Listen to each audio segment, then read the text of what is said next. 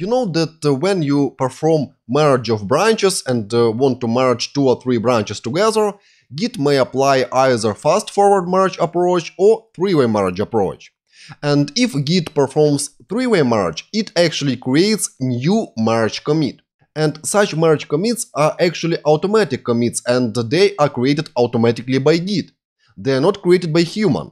That's why sometimes it is really useful to filter out merge commits if uh, especially there are a lot of them, and uh, view only commits made by people.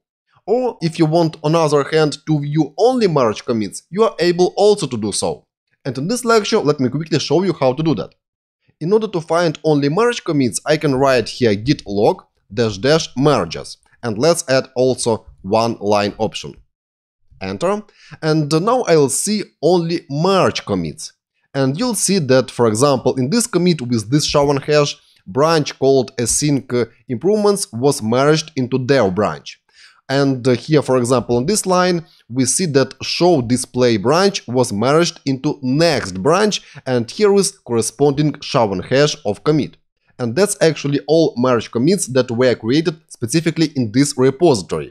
And there is actually reason for that, and in the next lectures, I'll explain you why in some cases people decide not to merge branches in traditional way, and instead rebasing with squashing is used.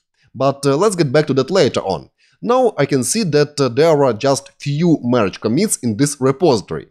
I can also use another option, dash dash no merges in order to see results without merge commits like so.